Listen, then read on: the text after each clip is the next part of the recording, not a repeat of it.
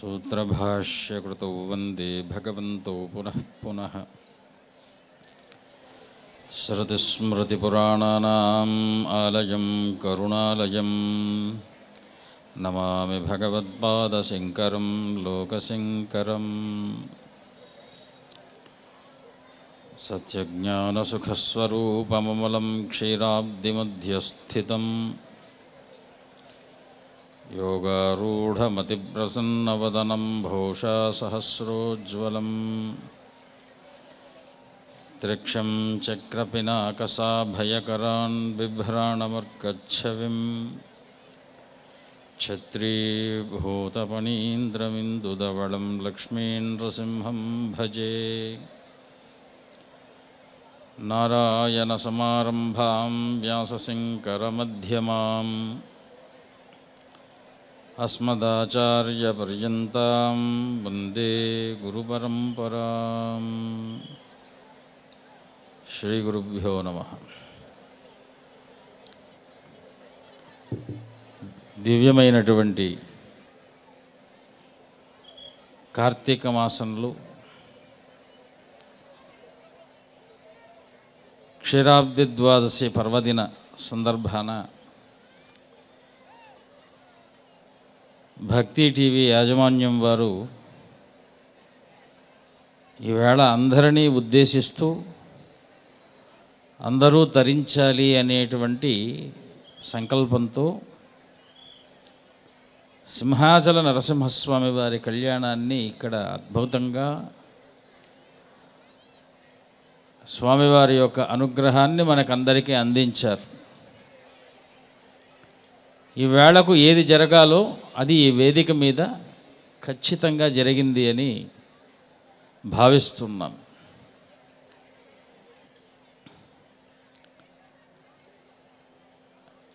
నిన్న ఉత్తాన ఏకాదశి.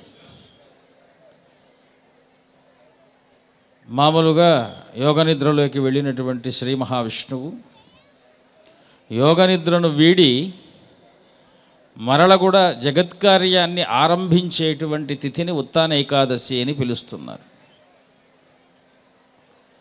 ఈవేళ క్షీరాబ్ది ద్వాదశి. ఇవాటి రోజుకు అనేక రకములైనటువంటి పవిత్ర లక్షణాలు పొంది ఉన్నటువంటి తిథి అయినప్పటికీ అమ్మవారిని పరిణయమాడినటువంటి రోజుగా ఎక్కువగా ప్రాచుర్యంలో ఉన్నటువంటి పర్వదినం. అంటే నారాయణుడు నరుడైనప్పుడు లక్ష్మీదేవి నరుడి యొక్క సంపద. జగత్ కళ్యాణం ఎప్పుడు జరుగుతుంది అంటే నరుడికి నిజమైనటువంటి సంపద పొందినప్పుడు అది కళ్యాణం. ఏమిటా సంపద? అంటే పైకి కనిపించే సంపద సంపద కాదు. భక్తి జ్ఞాన వైరాగ్య సంపద అనేటువంటిది ఉత్కృష్టమైనటువంటి సంపద. భక్తి జ్ఞాన వైరాగ్యములు లేనటువంటి సంపద తుచ్చ సంపద. ఎందుకు తుచ్చము అంటున్నాము అంటే అది ఉపయోగపడదు. ఒక సమయం వరకు అది ఉపయోగపడుతుంది. అవసరం తీరేంత వరకు అది మీ దగ్గర ఉండి అవసరం తీరిన తర్వాత భౌతికమైనటువంటి ఉపశమనము భౌతికమైనటువంటి ధనం ఇస్తుందేమో కానీ ఆ సుఖము తీరిన తర్వాత బాధను రూపుమార్చేటువంటి శక్తి భౌతికమైనటువంటి సంపదకు లేదు. అప్పుడు ఏ సంపద మనకు కావాలి అంటే భక్తి సంపద కావాలి. భక్తి సంపద లేనటువంటి సంపద శరీరంలో లేదు అని నారదుల వారు చెప్పారు. భక్తి లేని మనిషి ఈ లోకంలో ఒక్కడు కూడా ఉండడు. ఎందుకు భక్తి లేనటువంటి మనిషి ప్రపంచంలో ఒక్కడు కూడా ఉండడు? కేవలం భగ్నిషి అనేటువంటి మాటనే ఇక్కడ చెప్పట్లే. భక్తి లేనటువంటి ప్రాణి ఈ లోకంలో లేదు అసలు ఎందుకంటే భక్తికి నారదుడు చెప్పినటువంటి నిర్వచనము ప్రేమస్వరూపం. ప్రేమ లేనటువంటి వాడు ఎవడైనా ఉంటాడా లోకంలో అని మనం విచారిస్తే ఏ ప్రాణి కూడా ప్రేమ లేకుండా లోకంలో జీవించదు. అసలు జీవము లేదు ప్రేమ లేకుండా.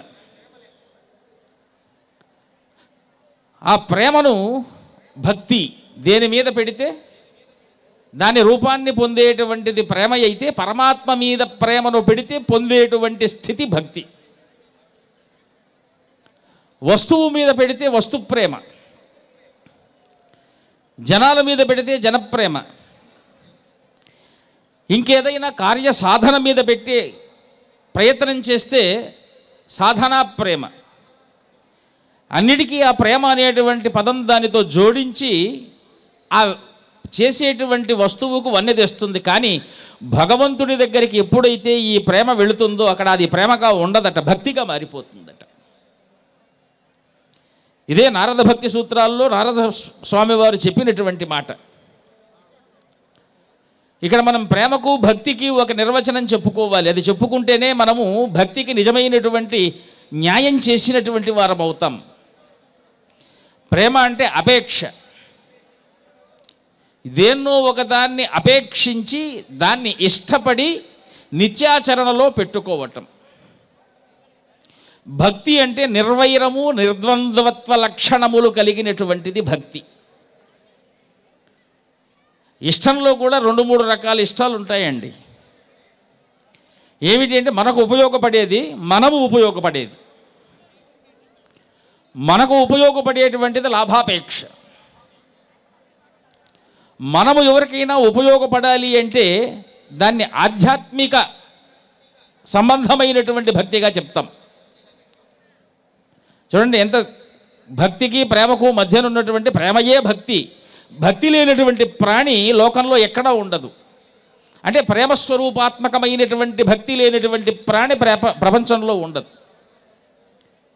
ఆ భక్తి పరమాత్మ దగ్గరకు వచ్చేటప్పటికి ప్రేమ భక్తిగా మారిపోతుందట. అందుకే ఒక చోట అన్నారు అనన్య మమతా విష్ణోహో మమతా ప్రేమ సంగత అని విష్ణువు ఎందు అనన్యమైనటువంటి ఇక్కడ అనన్య శబ్దానికే నిజమైనటువంటి అర్థాన్ని ఏం చెప్తున్నారు అంటే అపేక్ష లేనటువంటి ఇంకొక ఆలోచన రహితమైనటువంటి ఏ ప్రేమ ఉన్నదో అది భగవంతుడి మీద పెట్టేటప్పటికీ ఇంకొక ఆలోచన అనేది లేకపోవటమే భక్తి. ఎక్కడ ఇంకొక ఆలోచనతో కూడుకున్నటువంటి ప్రేమ ఉంటుందో అది భక్తి కాదు. అది ద్వంద్వం అవుతుంది కనుకనే భగవంతుడి దగ్గరికి పోయేటప్పటికి అనన్య మమతా విష్ణోహో మమతా ప్రేమ సంగత భక్తిరుచుచ్చతే భీష్మ ప్రహ్లాదోద్ధవ నారదైహి అని మనకు శాస్త్రాలు చెప్తున్నటువంటి మాట. ఎందుకంటే భీష్ముడు భారతంలో ఉన్నటువంటి వ్యక్తి. ప్రహ్లాదుడు కృతయుగం నాటి వ్యక్తి. ఉద్ధవుడు కూడా భాగవతంలో ఉన్నటువంటి వ్యక్తి. ఇక నారదుడి విషయానికి వస్తే ఆయన సర్వకాల సర్వావస్థలు ఎందు ఉండేటువంటి వ్యక్తి. వీళ్ళందరూ కూడా భక్తికి ఇచ్చినటువంటి నిర్వచనం ఏమిటయ్యా అంటే అనన్య మమతా విష్ణో మమతా ప్రేమ సంగత భక్తిరిచ్యుచ్చతే భీష్మ ప్రహ్లాదోద్ధవ నారదై అని. ప్రహ్లాదుడు చెప్పాడట నారదుడు చెప్పాడట భీష్ముడు చెప్పాడట ఉద్ధవుడు చెప్పాడట ఏమిటి అంటే ఏ స్థనమునందు ఏ స్థలమునందు మీకు ఇంకొక ఆలోచన పుట్టదో అక్కడ మీరు భక్తి పరులయ్యారు లేకపోతే మిమ్మల్ని మీరు పరీక్షించుకుంటే భక్తి లేనట్ట ఉన్నట్ట అని పరీక్షించుకోవచ్చు అన్నారు మరి అటువంటి అనన్యమైనటువంటి భక్తి పుట్టాలి అంటే మనం ఏం చేయాలి? విష్ణువు ఎందు అనన్యమైన భక్తి పుట్టాలి అంటే ఆ విష్ణువునే ఆరాధించాలి. అగ్ని లేని చోట అగ్నిని పుట్టించాలి అంటే అగ్నినే ఆరాధించాలి. మనస్సు లేని చోట మనస్సును పుట్టించాలి అంటే ఆ మనసు మనోస్థానంలో తపన చేయాలి తపస్సు చేయాలి. భక్తి లేని హృదయమునందు భక్తి పుట్టించాలి లేదు అనేటువంటి మాట ఇక్కడ లేదు. అది ఏదో ఒక రూపంలో ఉంటుంది దాన్ని శోధించాలి. అందుకే శోధించినటువంటి వాడికి సాధించినటువంటి ఫలములు ఎక్కువ. శోధన లేనటువంటి సాధనను ఈ కాలంలో మనమంతా కూడా కోరుకుంటున్నాం. ఏది శోధించం కానీ ఫలం మాత్రం కావాలంటాం. ఎందుకు అంటే ఆ ద్వంద్వము ఎక్కడైతే ఉంటుందో అక్కడ ఫలశూన్యము ఏర్పడుతుంది అని శాస్త్రములు. అదే అద్వైత సిద్ధాంతం. ఎక్కడ ద్వంద్వం ఉంటుందో ఇక్కడ దేవత విషయం కాదు మనస్సులో రెండు రకాలైనటువంటి ఆలోచనలు తనా పర అనేటువంటిది భయము ద్వేషము అనేటువంటిది రాగము అభిమానము అనేటువంటివి భ ఇక ఏవైతే ఆశాపాశములు అనేటువంటివి ఎప్పుడు ఒకదానికి ఒకటి పుడుతూ ఉంటాయో అంతకాలం మనం మనస్సుతోనే ఉంటాం. ద్వైదిగానే ఉంటాం. అలాంటి ఈ భక్తి టీవీ వారు ఈ వేదికను ఏర్పాటు చేసి అందరిలో కూడా అనన్యమైనటువంటి విష్ణు భక్తిని ప్రచారం చెయ్యాలి అనేటువంటి మహోత్కృష్ట సంకల్ప సాధన ఇప్పటికి పెట్టి మొదలుపెట్టి పుష్కర కాలం. పన్నెండు సంవత్సరములు గడిచినవి. చూడండి పన్నెండు సంవత్సరాల నిర్విరామంగా ఈ వేదిక కార్తీక మాసంలో అనన్య భక్తికి వేదికగా మారుతూ అందరికీ కూడా కన్నులు పంటకగా పన్నెండు రోజులు సాగేటువంటి ఒక మహావ్రతంగా అందరి చేత దీపాలు వెలిగించేటువంటి ఒక ఉత్సవంగా అందరికీ కార్తీక మాసము యొక్క పుణ్య ఫలాన్ని అందించేటువంటి ఒక వృక్షంగా వేద సంప్రదాయాలనే అవలింబింపజేసేటువంటి ఒక మార్గంగా ఇక ఇలా చెప్పుకుంటూ పోతూ ఉంటే అనేకం అనేకం. ఇక్కడ మనం వచ్చినందుకు మనకు ఫలితం ఏమిటయ్యా అంటే ఈవేళ ఈ క్షీరాబ్ది ద్వాదశి పర్వదినాన వెంకటేశ్వర స్వామి వారి యొక్క తులసి అర్చన చూశాం. లక్ష్మీ అమ్మవారిని కనుల పంటగా కళ్ళతో ఆస్వాదించాం. సింహాద్రి నరసింహస్వామి వారి యొక్క కళ్యాణ వైభవాన్ని మనం దర్శించాం. ఈ కళ్యాణ వైభవం వలన మనకు కలిగేటువంటి ఆనందం ఏమిటయ్యా అంటే మేము కోరుకున్నటువంటి భక్తి టీవీ భక్తి అనేటువంటి పదంలో ఏదైతే అనన్య మమతా విష్ణు మమతా ప్రేమ సంగత భక్తిరిచ్చుచ్చతే భీష్మ ప్రహ్లాదోద్ధవ నారదై అని భక్తికి ఎలాగైతే లోకంలో నిర్వచనాలు చెప్పారో ఆ భక్తి కలగాలి అంటే భగవతు భగవంతుడి యొక్క గుణాలను మనం అవలంబింప చేసుకోవాలి అందుకే ఒకటే నారద సూత్రంలో గొప్పదైనటువంటి భగవంతుడి గుణాన్ని చెప్పారు. అది చెప్పి ఈ సభను మనం ముగిద్దాం ప్రతి ఒక్కరూ. ఏమిటంటే లోక లోకేపి భగవద్గుణ శ్రవణ కీర్తన అతను ఒక సూత్రం ఉన్నది నారద భక్తి సూత్రాల్లో. లోకమునందు లోకేపి భగవద్గుణ శ్రవణ కీర్తనాత్. స్వామివారి పాటికి స్వామివారు మాట్లాడుతూ ఉంటారు మా పాటికి మేము మాట్లాడుకుంటూ ఉంటాం. స్వామివారి పాటికి స్వామివారు చెబుతూ ఉంటారు మా పాటికి పక్కన వారికి మేము కూడా ఏదో ఒకటి చెబుతూ ఉంటాం. ఇది భగవద్గుణం కాదు. నారదుడు చెప్పినటువంటి భగవద్గుణములు ఏమిటంటే ఏదైనా సరే శ్రవణము కీర్తనం.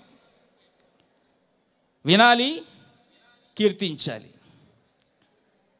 ఈవేళ ఇక్కడ విన్నాం స్వామివారి యొక్క కళ్యాణాన్ని అమ్మవారు మంగళసూత్రం ఎందుకు ధరిస్తున్నది అంటే లోకంలో ఉన్నటువంటి ఆడపడుచుల యొక్క మంగళసూత్రములు ఎప్పుడూ భద్రంగా ఉండాలి అని ఎప్పుడు స్వామి అమ్మవారు వివాహం చేసుకుంటూనే ఉంటారట. నిత్య స- మ- నిత్యమంగళ ప్రదాయిని ఆవిడ. ఎందుకంటే సర్వమంగళ మాంగళ్యే శివే సర్వార్థ సాధికే అని మంత్రం చెప్తున్నాం. ఏమిటి అంటే సర్వమంగళ మాంగళ్యే సర్వమంగళ అమ్మగారుల యొక్క పుస్తెలలో ఉన్నటువంటి ఆ భాగ్యం ఏదైతే ఉన్నదో అందరికీ నన్ను చూడటం వల్ల మీకు ఆ భాగ్యం కలగజేస్తున్నా ఇదే. ఈ ద్వాదశి పర్వదినాన ఆ లక్ష్మీ నరసింహస్వామి వారి యొక్క కళ్యాణ దర్శన పుణ్యఫలం మనం పొందుతున్నాం. స్వామివారు యజ్ఞోపవీతాన్ని ధరిస్తున్నారట. ఎందుకు యజ్ఞోపవీతాన్ని ధరిస్తున్నారు అంటే లోకంలో ఉన్నటువంటి పురుషులందరికీ సద్బుద్ధి ప్రధానాయ. అందరికీ కూడా బుద్ధి సద్బుద్ధి వచ్చి ధార్మికమైనటువంటి భగవత్ చింతనతో మీరందరూ బాగుండాలి.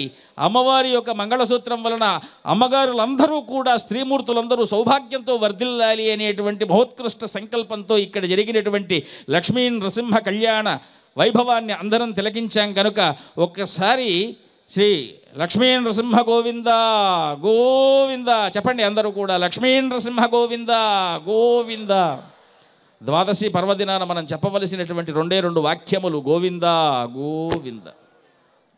నవ్వుతూ చెప్పినా బాధతో చెప్పినా చెప్పమన్నారని చెప్పినా చెప్పించినందుకు చెప్పినా ఈరోజు చెప్పినందుకు ఫలితం మాత్రం అనంతం. ఏమిటా ఫలితము అంటే మూఢత్వం పోవటం అని శంకర భగవత్పాదులు చెప్పారు కనుక వారి వాక్యాన్ని అనుసరిస్తూ మరొకసారి అందరికీ గోవిందనామాలతో తుదివాక్యాలకు తుది వాక్యాలకు మేము ఈ వాక్యాలను అందరికీ సమర్పిస్తూ మా వాణికి వీడ్కోలు చెప్తూ స్వస్తి ప్రజాభ్య పరిపాలయంతాం. న్యాయేన మార్గేణ మహిం మహిషా గోబ్రాహ్మణేభ్య శుభమస్తు నిత్యం. లోకా సమస్త సుఖినో భవంతు. హర హర శంకర జయ జయ శంకర స్వస్తి